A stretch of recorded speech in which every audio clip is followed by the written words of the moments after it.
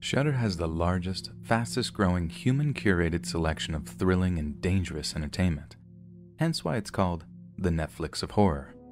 Shudder is the best streaming service with great thrillers, horror, and suspense for $5.99 a month or $56.99 a year.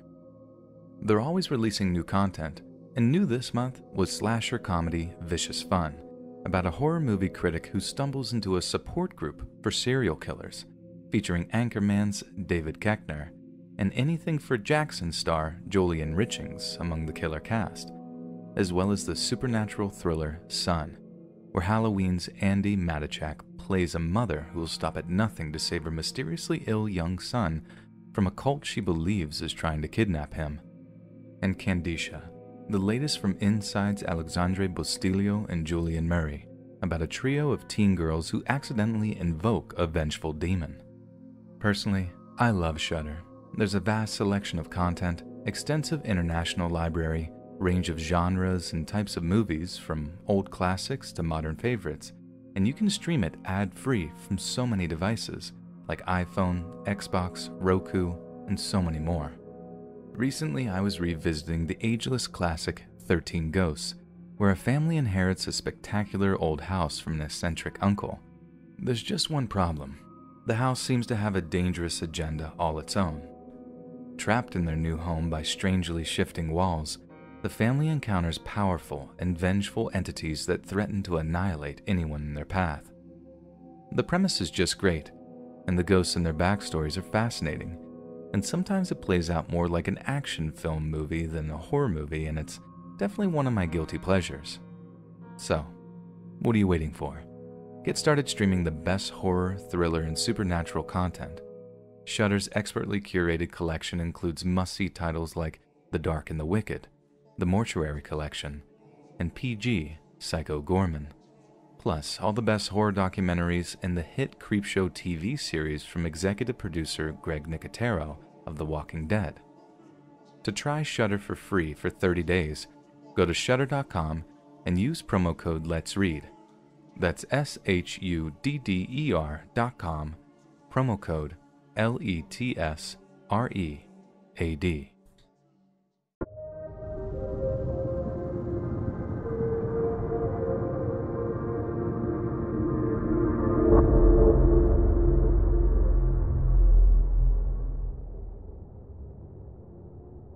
So, a while back, my best friend dated this girl for years, like way before we ever met.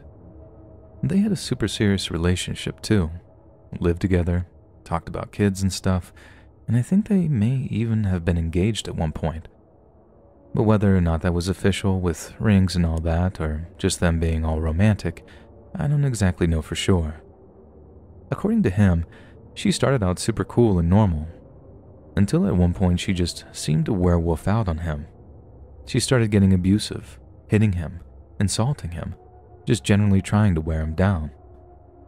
The story goes that one night he got so sick of it that he explodes and breaks up with her, like right there and then.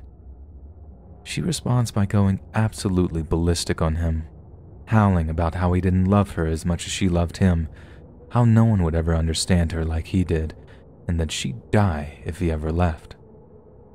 When he tried to leave, she ended up pulling a knife on him.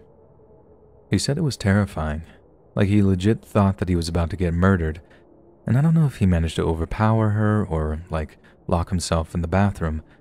But the cops eventually came, she was arrested, and it was this whole big thing. Years later, I'm watching the Cubs play with a buddy of mine in some sports bar when this cute bartender comes on shift. We ended up talking a little. She seems chill, and we're definitely vibing. So when we went to catch an Uber, I asked if she was single. She was. And she gives me her snap so we can organize a date or whatever. We go out, there's chemistry, so we organize a second date. And in the meantime, I end up talking about this girl to the first friend that I told you about earlier. He responds, Is her name Laura? I respond, Yup. Short brown hair? Well, shoulder length, but lip piercing right here? I ask him how he knew, and that's when he tells me the whole story about his psycho ex and how the girl I was dating was the exact same girl. I refused to believe it at first. This girl was super cool. I couldn't even imagine her acting out in the way he described. But again, he's nailing her tattoos, what she drank. Like there's no doubt it's 100% the same girl. And there's no way he'd lie about getting his butt kicked by a girl. Not to sound bad or anything, it was just a very convincing story. But, as Robin Williams put it, God gave men a wiener and a brain, but only enough blood to operate one at a time. And at that point, I was definitely not thinking with my brain. I was all like, dude, it was years ago. She's probably a lot more mature by now. And although I did believe him, I didn't put it past my friend to have embellished his version of events a little, just to make it a better story. The point is, I didn't want to risk missing out on a great girl, just because of some nonsense that happened to them in the past. So, we go on our second date, and although we have a good time, what my buddy told me is constantly at the front of my mind. About three or four drinks in, I start finessing in questions about previous relationships. I'm not making it obvious or whatever, but at one point, she just sort of sighs and says something like, I'll put it on Front Street. I had boundary issues in previous relationships, and that's something I've definitely had to work on in myself. But I'm trying, and I know I've gotten better with it over the years, so not to scare you off or anything, I'm just being honest. And honestly, this stuff was exactly what I needed to hear. It played right into my dumb little narrative of give her a chance when, really, I should have listened to my buddy. The date goes well. We end up back at her place, and the next morning, she asks if I want to go get some breakfast somewhere. I really did want to go, honest. I couldn't think of anything better than a fat stack of pancakes to kill my hangover. But if I didn't leave her apartment by 8:30, there's no way I'd ever get to work on time. So I was nice about it, but I still had to take a rain check. When I told her, her face dropped. She got all mopey and rolled back into bed, facing away from me. I respond, You're, not mad, are you? She denies it, but she clearly is, and as I'm literally about to leave, she says, I just thought we had a nice time, is all. I had to walk back into her room and say super calmly, I told you I have to work. I'm not ducking you. I have to go to work. She's still making snarky comments as I walk out the door, and I'm literally walking out of her apartment thinking, F that. She is so not worked out on those issues. I didn't want to see her again. Not after that, after all. I was pretty certain she'd not be wanting to see me anymore either, the way she seemed. But a few hours later, she's texting me like nothing happened, and I had to remind her that I was still kind of peeved about the way she acted in bed that morning. I figured I'd at least get a reply, but no, nothing. Until the following night, when she sent me exactly this over Snap. And I know this is word for word because I screenshotted it. Love me, use me, do me, make me yours in every way. Want me, desire me, crave me, I'll give you everything. I'll give you my life, my world, so long as you love me. Keep me as your partner. Don't love anyone else like you love me. Do it, please. Crave every ounce of me. Need me. Let me feed you my life and my love forever. I need you. Please, need me. Crave me, please, I beg you.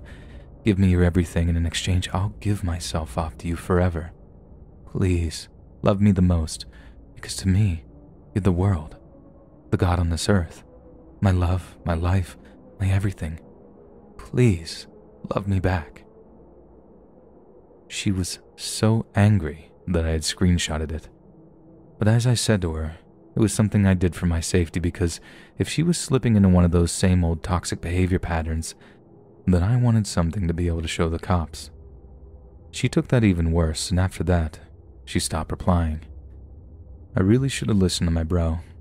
Like, I know she didn't exactly try and murder me, but I really was a fool for just ignoring him when all he was trying to do was have my back. It reminds me of that Toad and Scorpion story. You know, Toad can cross the river, Scorpion can't swim, so it asks for a ride on the Toad's back. Toad responds, Dude, you'll sting me and I'll die.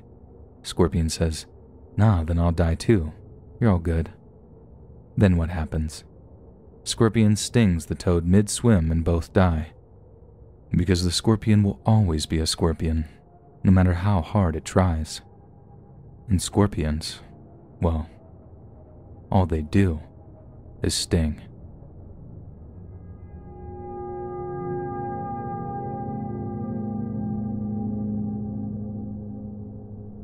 Uh, I've always been unlucky in love.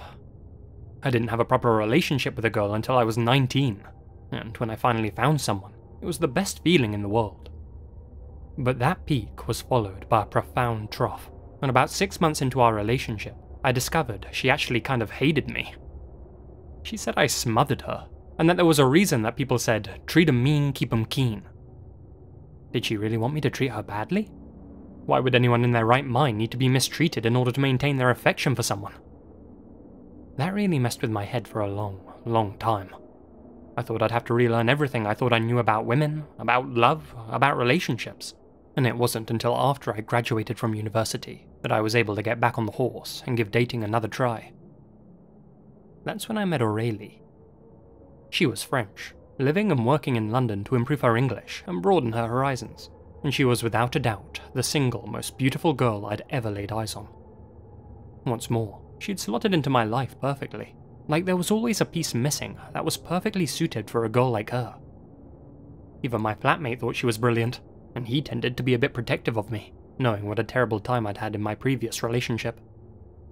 He always thought she was brilliant because she'd give him French lessons at £20 a pop, when the cheapest French teacher in London tended to charge about £50 an hour. Stuff like that made me feel like we were becoming a proper couple. The kind of relationship I'd always dreamed of having. Being friends with people as a couple, and not just as individuals. But as it turned out, my relationship with Aurélie would end even more disastrously than my first. She and my flatmate would usually have an hour long French lesson on a Tuesday or Wednesday afternoon. I'd normally get off work about half four, then be home in time to bring them takeout from whichever gaff we'd all agreed on. It was the highlight of my week sometimes, seeing my best mate and my girlfriend getting along like a house on fire. I even had a vision of a future in which he'd kind of be an uncle figure to our kids, especially since I had no siblings of my own. But one day, my office manager approaches me and says I'd put in so much overtime over the past few months that I'd be free to take a half day during some point that quarter. Naturally, I picked the Wednesday that Aurélie's French lesson is set to occur, figuring I'll surprise them both with a bottle of wine and some artisan brie. It was the least I could do for the two people who proved to be a constant source of joy to me. When I slid my key into the lock and pushed open the door, I expected to hear my best mate fumbling over French phrases, playfully chided by an ever patient Aurélie. But that's not what I heard. In fact, there was absolute silence. Then, right as I was about to call out, Hello, anyone home? I heard something coming from the bedroom. I won't cringe you all out with the gory details, and I'm sure some of you have already foreseen the outcome, but Aurélie and my mate weren't engaged in a French lesson. In fact, I don't think they'd ever been engaged in any lessons at all. They were having an affair. What came next was a sensation I'd never felt before or since, like a mix of numbness and nausea, sadness and anger that seemed to cancel out each other until all I wanted to do was cry. I remember just standing outside the bedroom for a moment, trying to summon the courage to walk in. But I couldn't. All I could do was walk into the living room and start packing my stuff, long enough until one of them went to use the toilet and saw me standing there, boxing up books and whatever else I'd piled up on the carpet. Again, I'd rather not go opening up old wounds with too many details, but let's just say I had to move back in with my mum for a while. I was that depressed. Then came some more wilderness years, too scared to date, but too lonely and lacking in intimacy to be truly happy. I honestly didn't know how I could ever handle anything like that again. I know this has been quite long winded already. I just need you all to understand the logic of what I did next. Anyone else might think what I did was completely and utterly insane, and I don't blame them. I just need them to know I reached the depths of desperation that led me to a particular choice. And that choice was named Pip. Pip wasn't her real name. More like a nickname she picked up after a friend noticed a passing resemblance to Pippi Longstocking. I met her on a dating app, one I barely used due to general anxiety about dating. I was stuck between a rock and a hard place, knowing I had to at least put myself out there if I ever wanted to start a family, but being far too terrified to approach anyone. But then there was Pip, a girl who seemed to exude the same kind of vulnerability I did. One of her prompts on Hinge mentioned something about being patient with her, as she'd been hurt by previous relationships. But then there was a mention of how loyal and monogamous she was, how she seemed to wear her heart on her sleeve with her love of manga, anime, and all things Japanese. So, for the first time in a long time, I actually rolled the dice and sent her a message. I won't bore you with the details, but after a month of dating, I asked her to be my girlfriend. It wasn't just that we hit it off so well, nor was it that she seemed to understand how difficult and stressful it was for me to date. It was how much she seemed to be into me, how reciprocal the attraction was. That was something I realized I hadn't really experienced before, and oh man, did it feel good. We spent almost every minute of every day together. Whenever I wasn't at work, I was with Pip. We obviously spent most of our time hanging out in my flat, but it wasn't long before Pip basically started moving her stuff in bit by bit. Not that I had a problem with that. I liked that she was there all the time. And I do mean all the time. Because the thing was, Pip couldn't work because she was disabled. Not with any kind of physical disability, mind you. Pips were the kind of disabilities you couldn't see. Regardless, she received enough in benefits to live comfortably while selling digital artwork where and when she could. For a time, life was good. Really good. But right around Christmas, Pip's behaviour started to take a turn for the worse. It all seemed to arise as a result of me needing to visit my family a lot. Christmas time, you see your relatives. Pretty standard practice. But not only did Pip not want to visit her own relatives, she didn't want me to visit mine either. And on top of that, whenever I did leave the flat to go and visit them, she'd be in an absolutely foul mood when I got back. It put a real dampener on the festivities, and I know my mum and dad were disappointed when I could only stick around long enough to swap presents and eat my Christmas dinner. Me citing that Pip didn't like it when I was away for too long, and their negative reaction to that, I just knew things would come to a head after a while. I needed a girl I could take to family events. Someone who'd become a part of my family, not one who avoided it. But when I tried to talk to her about it, she raised her voice to me for the first time ever in our relationship. She told me I knew damn well she wasn't capable of large social gatherings, and I was bloody selfish to leave her alone like that, especially on Christmas Day. The slightest pushback from me, and she burst into tears.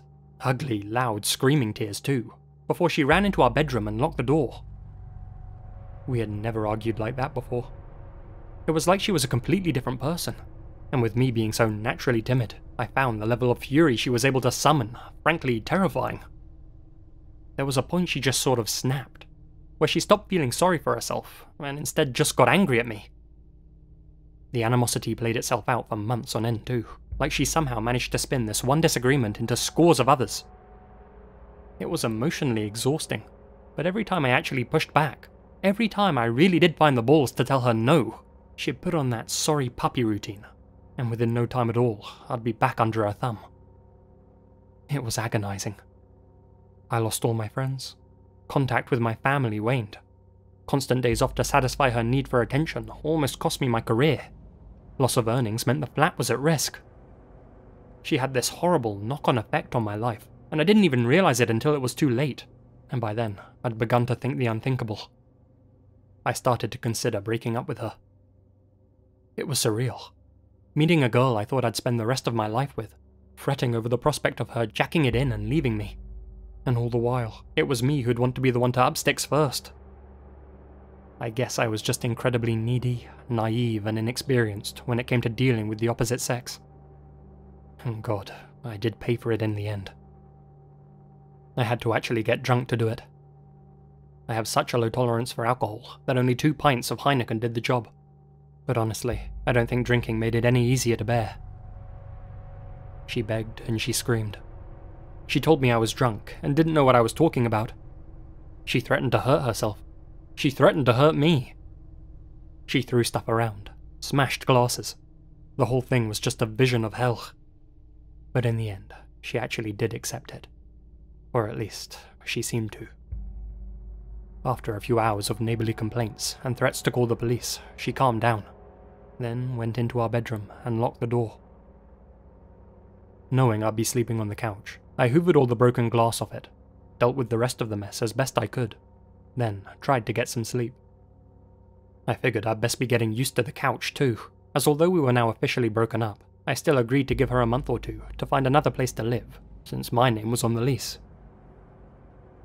One night on the couch goes okay, so as much as it was grim to still be living with her, I didn't think Pip would pose an actual, tangible threat to my safety. After all, she was five foot nothing, and I wouldn't have any trouble overpowering her if it came to some sort of physical altercation. But that's not what I should have been afraid of, and the real trouble came when she saw I was packing my bags. She was definitely acting different after she saw that, and when she asked why I was doing it, I told her it was because I was heading to my parents for a while, just until she could find her own place. I didn't think it was doing us any good living in the same space, and it would help us move on from each other if we did a week or so with no contact. I didn't think she'd respond very well to that, but to my surprise, she seemed to take it in a stride. That, however, turned out to be nothing but a front, and I think by that point, she had already made up her mind regarding what she was going to do. That night marked the beginning of my second week on the couch, and little did I know, but it would prove to be my last. Not for good reasons either.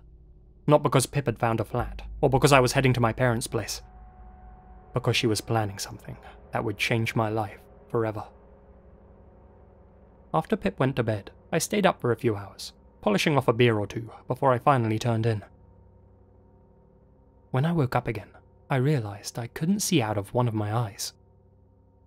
I sat up and realized my face felt warm and wet, and out of my one good eye, I could see Pip, and she was as white as a sheet. I reached up to touch my eye, but I couldn't. Something was in the way. Something long and cold and metallic. I just heard, I'm sorry, before she bolted from the room. I look down, and I see all this blood splattering on my thigh and on the couch, dripping down my face from what was obviously a horrible wound to my eye. I think the adrenaline kicked in there and then, because I leapt up off the couch, grabbed my phone to call an ambulance, and grabbed a tea towel to stem the bleeding. You think that in that moment you'd freak out that something terrible had happened to something so precious, but I just had this a resigned feeling of, oh well, at least you've got the other one working okay.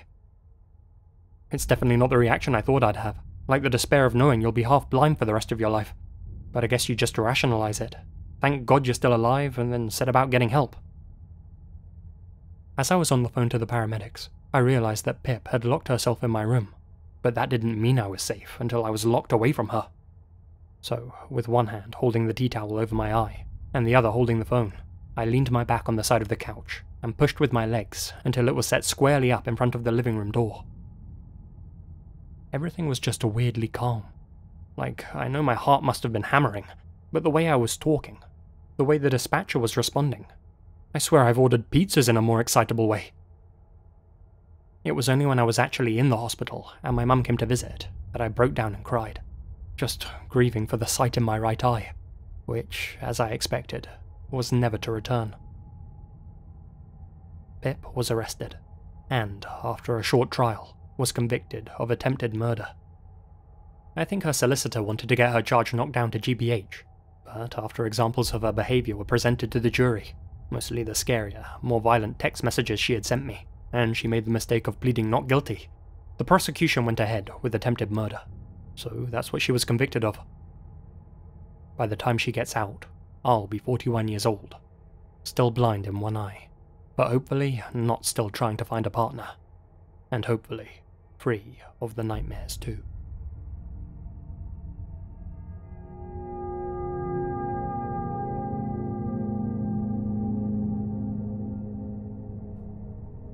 For the past six years now, I've worked in the domestic violence unit of one of the largest police forces in the UK.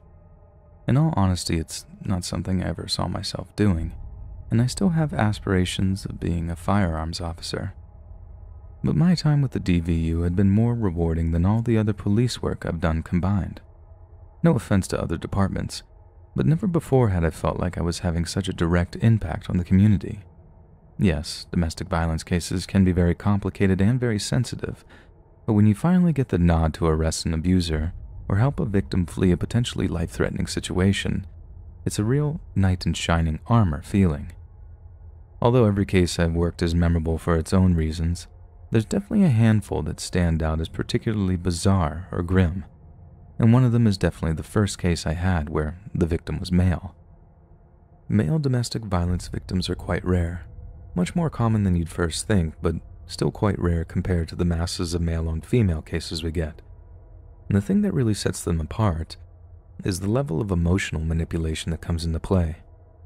Most male domestic abusers use physical strength or financial constraints to control and subdue their victims, whereas female abusers tend to employ some disturbingly creative methods of psychological manipulation in order to maintain control and prevent from being arrested. And that's what really got me about the case I'm about to talk about. How the bloke in question had all the means to just walk away and save himself. He just couldn't find it in him to do so. Because I want to protect the anonymity of the innocent here, and he was my first male victim of domestic abuse, we'll very unoriginally call the bloke Adam. So, obviously, his girlfriend in this case is going to be Eve. I first became aware of Adam and Eve when some marked units passed on some information regarding a potential domestic incident. Their neighbors had called, complaining of the most awful racket coming from Adam and Eve's flat. Not the late night party kind of racket either, more like the violent domestic kind with smashing crockery and slamming doors. The marked units, and by that I mean regular uniformed officers in a marked car, paid them a visit, only to find that there had been a bit of misunderstanding, and the couple had in fact been watching an action film. Any banging, rattling, slamming, or shaking could be explained by their brand new, top of the line sound system, and although they were very sorry for any inconvenience caused, there had simply been a misunderstanding, that they said. It's at that point that one of the officers asked if it'd be okay if he came inside to talk to each person separately. 99% of the time, this isn't a problem, and they're more than willing to pop the kettle on and have a chat for a few minutes, especially if it's to clear up any suspicions of violence. But Adam and Eve say no, or rather, Eve says no. Adam just sort of nods along, and the officers leave with a distinctly uncomfortable feeling about the whole thing. As you can imagine, whenever this happens with the genders reversed, it ends up straight on my desk.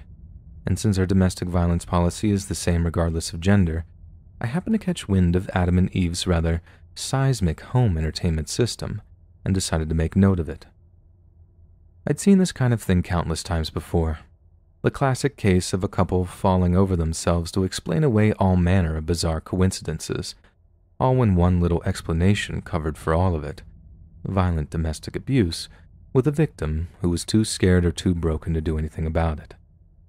It's by far the most frustrating thing about domestic violence cases, how every so often you meet someone who just refuses to help themselves.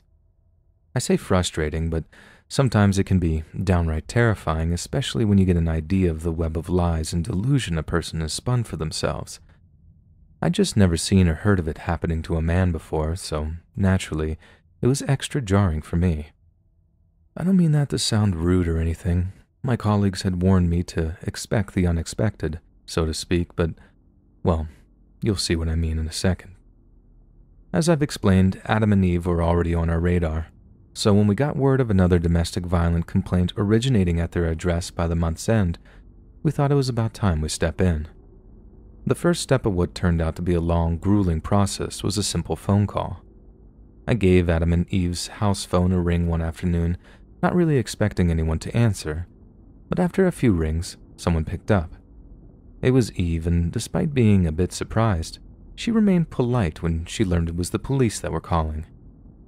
I asked how she was, inquired about the recent incident, and found out there had only been another hilarious misunderstanding between them and their neighbors.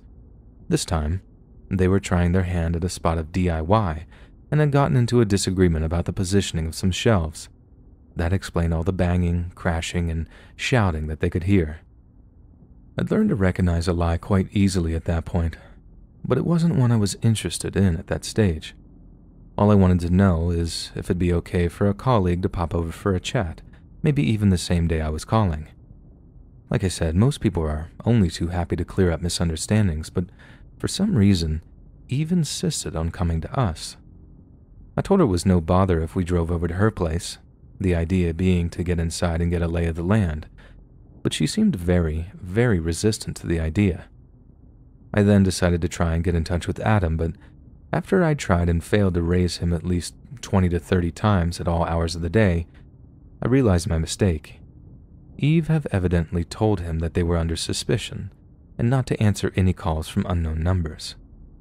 My only option was to corner him at work. I know that might sound a bit aggressive, but in serious domestic violence cases, every single day counts.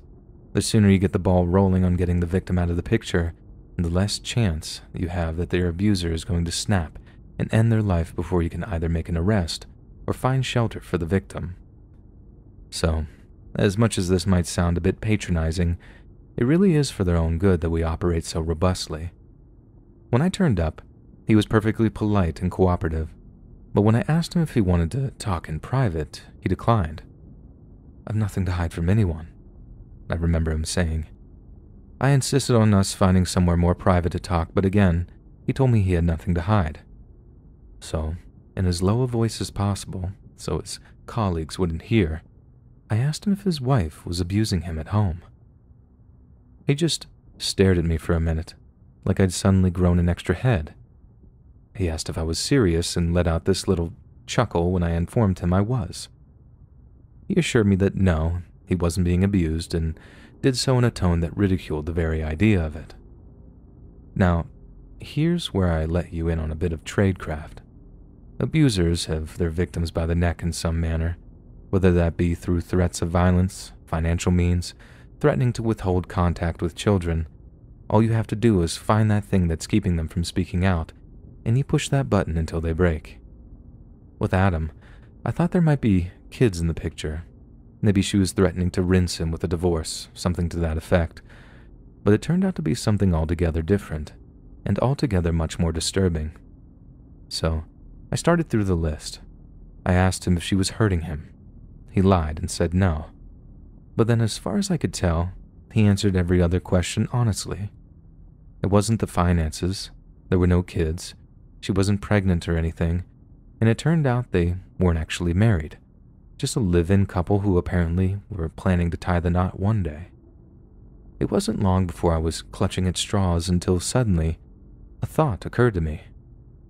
Had she ever hurt anyone else close to you, Adam? I asked him. Has she ever hurt your mum or. I was about to finish with Dad, but I didn't have to. The look he gave me told me all I needed to know. And when I once again suggested we find somewhere quiet to talk, he nodded and let me into one of his office's conference rooms. Once we were alone, it all came out. Eve was violent, abusive, manipulative, controlling, and she had him by the balls. He'd once gotten so sick of her behavior that he tried to break up with her, and she'd flown into such a rage that he thought she might kill him. She didn't, evidently, but she did, as he put it, kick seven shades of the life out of me. But that wasn't the worst part. During their vicious argument, Adam had let slip about how even my mom thinks you're a psycho. That proved to be one heck of a mistake, as Eve wasn't the kind of person to let a comment like that go. She drove over to Adam's mom's house, charmed her way inside, then FaceTimed him as she basically tortured her with household objects. Obviously, the police got involved and Eve was looking at a criminal conviction, but somehow the whole thing got chalked up to some sort of family spat, and Adam convinced her own mother to drop the charges. It was a classic example of why domestic violence cases can be so frustrating. The victims can be their own worst enemies, helping facilitate their own suffering. Once she'd proved she was willing to hurt his mom, that was that. Eve could get Adam to do and say just about anything she wanted him to. The one thing he was holding off on was marriage and kids. He'd managed to feed her some spiel about not quite being ready, about waiting for a promotion at work or waiting until his uncle's inheritance came through.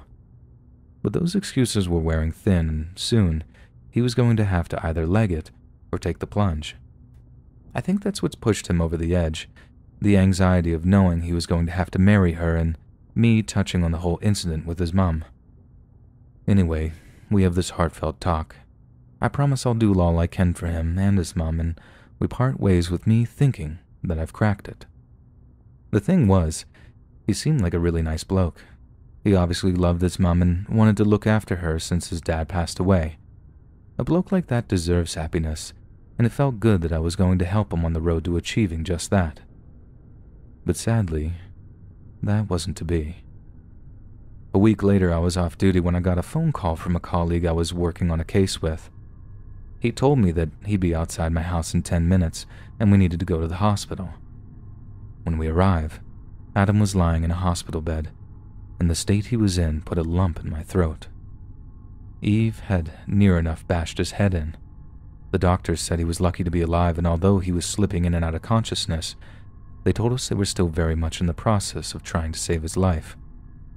We were allowed a brief chat with him, but we were told that he might not have much longer left to live.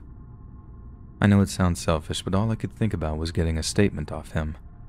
I should have been more focused on his health, on wishing him well or something like that, but I was just a robot. If he passed without us getting a statement pinning Eve as the attacker, there was a chance she'd get away with murder. And don't get me wrong, if he stayed quiet, we'd still have a chance at getting her locked up but he insisted on telling us and the doctors that he'd near smashed his skull in by falling over drunk. I begged him. I'll go right out and say it. I begged him to tell us the truth.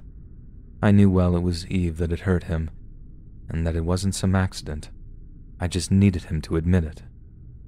He was right on the verge, right on the cusp of giving us the statement we needed to get her in cuffs. But then, she turned up at the hospital and after a minute or two alone with him, we lost our chance.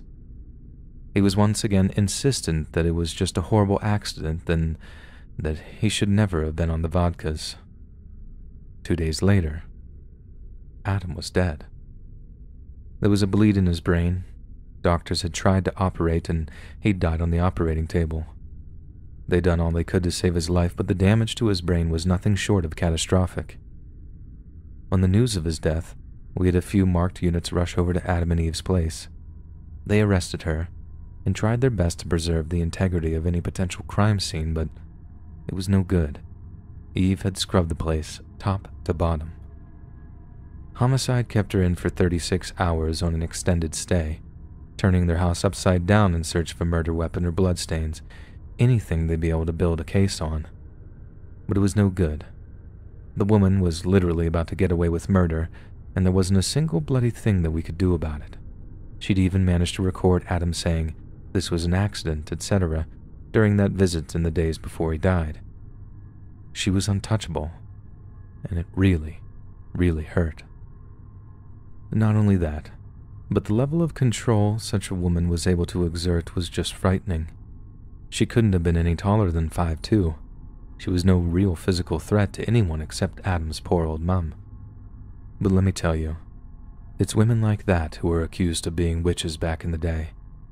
I mean, it was honestly just kind of spooky the kind of effect she had on him.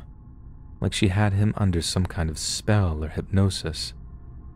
Don't get me wrong. Each and every one of the domestic violence cases I've worked have been distressing and or disturbing in their own right. But this was the first time I saw some of myself in the victim.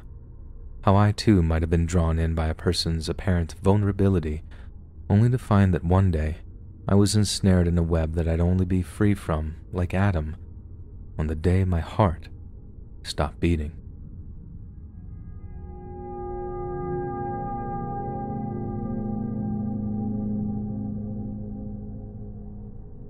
I've been lurking through this sub for quite some time now, and as much as I've noticed the daily flood of questions and discussion topics surrounding obsession love or yandere, there doesn't seem to be many people willing to give an insight into the kind of mentality we have or the feelings we experience. I see a lot of people making jokes about it, turning something very serious and dangerous into pure meme fodder, and I feel like I should voice my objections. I feel like a lot of you have whitewashed the idea of obsessive love, painting it like it's something to be treasured as opposed to something to be feared. You see, the core of the issue is when someone really loves you, like really loves you, they could never, ever hurt or hate you. You accept the faults or shortcomings of someone you love, and to bring up that old adage, if you really love something, you have to be prepared to let it go. Well, for the longest time, I couldn't let go. I was mentally incapable of doing so, and trust me, Yanderes like me have their emotions grounded far more in hate than in love. We hate the idea that a person could be apart from us. We hate the idea that they could betray us. And we hate all those around them for drawing their attention away from us. The pure love that I see people talking about in the sub, it doesn't exist. It's dancing on a knife edge until it falls off into hate. Just pure, wild hatred. And that's what drove me in the end. Not love. The point at which I realized I needed help was when my stepdad caught me trying to guess the code to his gun safe. He and my stepmom sat me down and asked me what was going through my head. I thought they'd be mad, like real mad, but they just seemed scared. I'd never ever seen them get like that with me, looking at me like I was dangerous. But I guess that's exactly what I was at that point. And the real scary thing was how easily I'd gotten to that kind of mental space the logical bridges I'd used to get from, I just really like this guy, to, his girlfriend has to die. I remember breaking down at the kitchen table when I finally admitted to myself what I wanted to do, and that was kill. For the first time, I felt shame. Shame at the kind of selfish attitude I'd had, an attitude which held my messed up feelings over another person's very right to exist but it was only really when I laid my plans out to my parents that I realized what a monster I'd become. You think if I wanted to keep a boy all to myself, I'd at least come up with some sort of way of not being caught for his girlfriend's murder. But honestly, I didn't care. Getting caught was actually part of the plan. Everyone needed to know that it was me. Everyone needed to know what a dedicated, loyal person I was. I'll kill for you. That's what I needed to say. And I wanted to prove it, too. I was planning on shooting her dead, right there in the hallway at school, so that as many people could see as possible.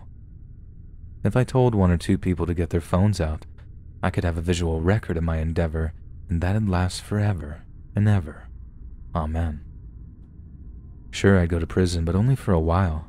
My foster parents would no doubt pay for some fancy pants lawyer to get me off by reason of insanity, Maybe whittle a judge down to giving just a couple of years in a secure facility or something. That way, in a relatively short space of time, I could be back with my man, loving life, and being the perfect girlfriend I knew I could be. But all of that was just a grand illusion, and I talked myself into it so hard that I actually decided to take the next fatal step and try to get my hands on a gun. Honestly, what came after the impromptu intervention was most definitely not pretty. My foster parents withdrew me from school. I had to go see counselors, psychiatrists, all kinds of fancy doctors and therapists that were supposed to help me figure myself out. I was reluctant, naturally, but they really did help after a while. They didn't so much tell me what was wrong, rather led me down the right track until I arrived at the right conclusions on my own. A huge part of it was the lack of attention I'd received in my formative years. My foster parents had only stepped in when I was seven, probably saving me from becoming an even worse person, perhaps. But before that, the lack of love and affection I'd received from my deadbeat bio mom and dad meant I simply hadn't developed properly. I'd like to think that I have a kind of intelligence, like I know I'm not dumb, but that craving for attention and affection that tends to be targeted at people unwilling or unable to give it. I understand how that's led me to make some really dumb choices in my life. I think the main reason to me writing this up is to ask people to stop fetishizing obsessive love. I get that some people just don't understand what it actually is, and it's great that people are asking questions about it. But I see people in the sub who know well how dangerous it is and they're pushing it on people regardless. It's malicious. There's no other explanation for it. There are people in this sub who are romanticizing murder, who are doing exactly what I used to do during the darkest and most dangerous time of my life. And let me tell you firsthand, they are not your friends. Please be safe out there, people. And if you need help, don't hesitate to reach out either to me or some kind of healthcare professional. Think of it as saving a life. and not just other people's, saving your own life.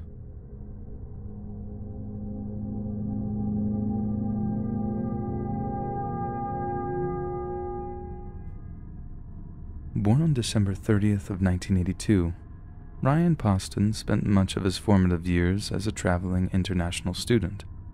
He attended the international school in the Philippine capital of Manila, as well as the international school in Geneva, Switzerland, before eventually enrolling at Indiana University, where he triple majored in history, geography, and political science. Following his graduation, he moved on to study law at the Salmon P. Chase College of Law at Northern Kentucky University. Much to his parents' pride, Ryan graduated law school with flying colors and took up a job as an attorney in Cincinnati, Ohio. By 2011, Ryan was 28 years old and was living the kind of high flying lifestyle that many can only dream about. The only thing that was really missing in his life was a romantic partner and this is how the 28 year old attorney met 19 year old Shayna Hubers using the social media app Facebook. At the time, Shayna was friends with a relative of Ryan's, so it wasn't like the two were complete strangers when they began talking. And despite the significant age gap between the two, the couple found that they shared a fair amount of chemistry. Not long after, they officially began dating. It was around this time that Shayna graduated with a degree in psychology from the University of Kentucky in Lexington. Previous to this, Shayna had been just 80 miles away. Definitely not the easiest drive, but the couple seemed prepared to overlook the distance. However, Shayna's graduation seemed to have sparked off a kind of poop or get off the pot moment in their relationship, and when Ryan professed reservations about the couple moving in together, it appears a mild strain soon became a vast schism, and what was previously a solid relationship became extremely volatile. They went through something of a breakup then makeup phase together, splitting and reuniting several times throughout early 2011 to mid 2012. But it seems by October of 2012, the couple had broken up for good, as Ryan had no interest in getting back with Shayna. This might partly have been motivated by his fling with blonde bombshell and former winner of the 2012 Miss Ohio pageant, Audrey Bolte. It's unclear how Ryan and Audrey met, but it's clear that he was nothing short of smitten with his new belle, and the pair planned a rendezvous on the evening of October 12th. However, that very same evening, the Highland Heights Police Department received a call from a woman claiming to have shot her boyfriend in self defense. She told dispatchers that she had shot her boyfriend six times after he had attempted to club her to death with a blunt object during an argument that had apparently arisen after next to nothing. According to her, her boyfriend was routinely abusive, and the shooting was the result of a long campaign of domestic violence and mistreatment.